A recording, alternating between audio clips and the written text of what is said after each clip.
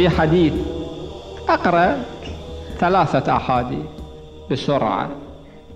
قبل النبي صلى الله عليه وآله الحسن والحسين. تقبيل. تجي للبيت طفلك موجود أخذه وقبله. تدرون هذه القبلة قد مؤثرة في نفس الطفل؟ الإمام يقول أكثروا من تقبيل أطفالكم فإن لكم بكل قبلة درجة قبلة درجة مجان.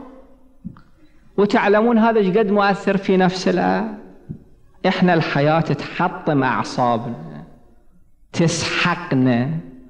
إذا الأعصاب كانت مليون كيلو الإنسان على أثر ضغط الحياة أعصابه تصير كيلو واحد أو تنعد. هاي الأشياء حتى في نفس الأب مؤثرة. هو يرتاح. الإنسان الذي يعطف على الآخرين أول من يرتاح هو. فإن لكم بكل قبلة درجة. ثواب مجان فقال الأقرع بن حابس إن لي عشرة أولاد ما قبلت واحدا منهم. كأنه هذا مخالف الرجولة فقال صلى الله عليه وآله ما علي إن نزع الله الرحمة منك. هذه رواية. كان صلى الله عليه وآله جالسا فأقبل الحسن والحسين. صلوات الله عليه. فلما رآهما النبي قام لهما. بعض العلماء يقولون أولا هذا بيان لمكانة الحسن والحسين. أولا صلوات الله عليه. ثانيا هذا تعليم لنا إحنا الآباء الأجداد. قام لهما واستبطأ بلوغهما إليه. ليش تأخرتوا؟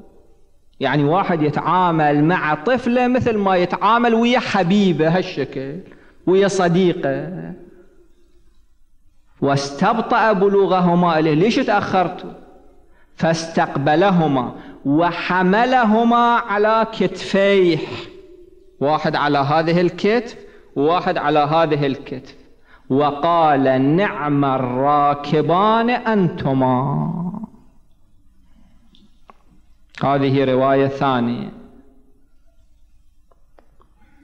الرواية الثالثة حول الإمام الحسين صلوات الله عليه كان صلى الله عليه وآله يصلي في فئة والحسين صغير بالقرب منه فكان إذا سجد جاء فركب ظهره.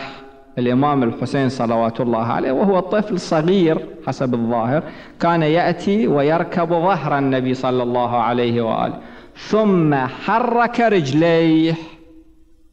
فإذا أراد أن يرفع رأسه أخذه فوضعه إلى جانبه برفق بلين. فإذا سجد النبي صلى الله عليه وآله عاد إلى ظهره.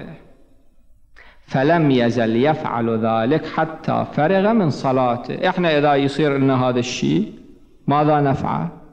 ننهر الطفل ندفع الطفل.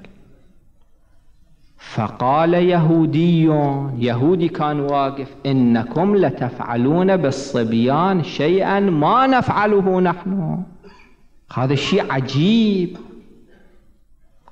قال صلى الله عليه وآله أما لو كنتم تؤمنون بالله ورسوله لرحمتم الصبيان. قال اليهودي فإني أؤمن بالله ورسوله. هذا الخلق. هذا الخلق الذي رآه من رسول الله صلى الله عليه وآله جعله يؤمن.